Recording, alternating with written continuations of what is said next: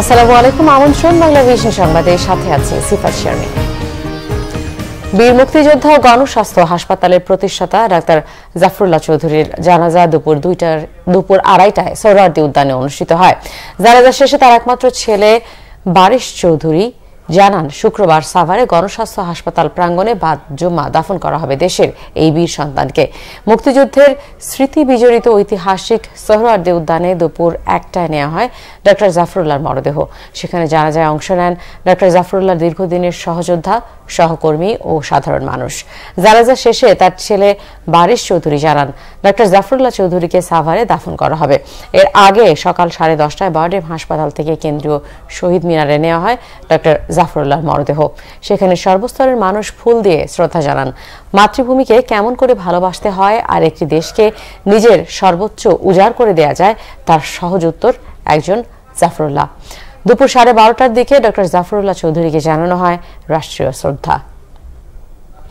জ্ঞাত আয় বহির্ভূত সম্পদ অর্জনের অভিযোগে দুদকের মামলায় বিএনপির ভারপ্রাপ্ত চেয়ারম্যান তারেক রহমান ও তার স্ত্রী ডাক্তার জুবায়দা রহমান আইনজীবী নিয়োগ দিতে পারবেন না। এদিকে মামলার অভিযোগ গঠনের মাধ্যমে শুরু হয়েছে আনুষ্ঠানিক বিচার প্রক্রিয়া। বৃহস্পতিবার ঢাকা মহানগর দায়রা জজ মোহাম্মদ আসাদুজ্জামানের আদালত আইনজীবী নিয়োগ করে লন্ডন থেকে মামলা পরিচালনার আবেদন খারিজ করে আদেশ দেন। সেই সাথে এই মামলায় তাদের বিরুদ্ধে অভিযোগ গঠন করেছে আদালত। এর ফলে এই মামলায় তাদের বিরুদ্ধে আনুষ্ঠানিক বিচার শুরু হয়েছে।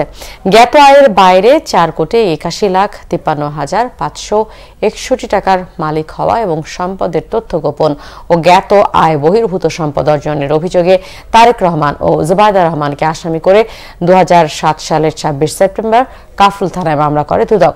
সে মামলায় দু হাজার বাইশ সালের এক নভেম্বর তারেক রহমান ও জুবায়দা রহমানের বিরুদ্ধে গ্রেফতারি পরোয়ানা জারি করে আদালত।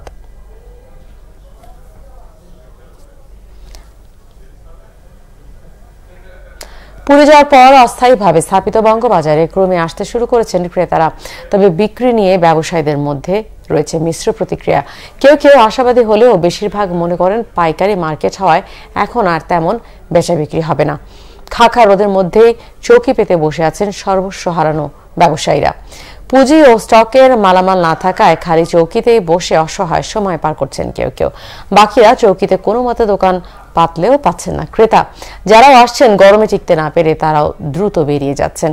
আগুনে পোড়া ক্ষতিগ্রস্ত ব্যবসায়ীদের অসহায়ত্বের কথা ভেবে কিছু কিছু ক্রেতারা আসছেন বঙ্গবাজারে। মানবিকতা দেখিয়ে দামদার না করেই পণ্য কিনছেন তারা দ্রুত স্থায়ী ভবন নির্মাণের দাবি করেছেন ব্যবসায়ীরা।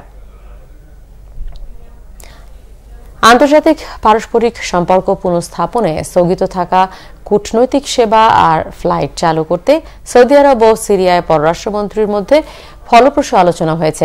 সম্পর্ক পুনঃস্থাপন প্রক্রিয়া এগিয়ে নিতে ইরানের পর এবার সৌদি আরব সফরে গেলেন সিরিয়ার পররাষ্ট্রমন্ত্রী ফয়সাল মিকদাদ। জেদ্দা বিমানবন্দরে তাকে স্বাগত জানান সৌদি পররাষ্ট্রমন্ত্রী ফয়সাল বিন ফারহান। পরে দুই পররাষ্ট্রমন্ত্রীর মধ্যে বৈঠক হয়, যৌথ বিবৃতিতে বলা হয়, সিরিয়া সার্বভৌমত্ব রক্ষা, সশস্ত্র মিলিশিয়া দমন ও রাজনৈতিক স্থিতিশীলতা ফেরাতে কাজ করবে দুই দেশ। দু হাজার এগারো সালে সিরিয়ায় গৃহযুদ্ধ শুরু হলে দামেস্কের সাথে সম্পর্ক ছিন্ন করে রিয়াদ।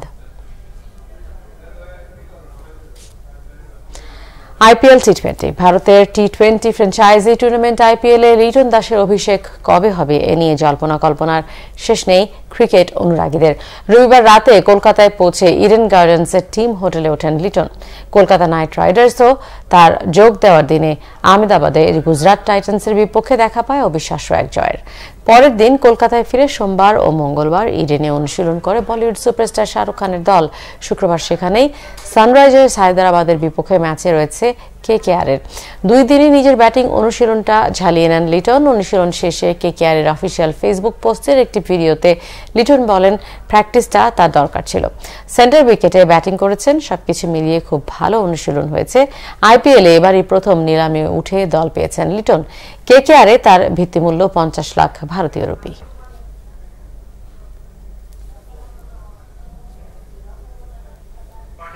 এই ছিল এখনকার মতো। পরের সংবাদ সন্ধ্যা সাড়ে সাতটায় দেখার আমন্ত্রণ রইল। এছাড়া বাংলা বিশ্ব সংবাদ ও সংবাদ সংশ্লিষ্ট অনুষ্ঠান দেখতে ভিজিট করুন ডাব্লিউ ডট কম ও Facebook dot com slash Bangla Bishwa news এবং সাবস্ক্রাইব করুন।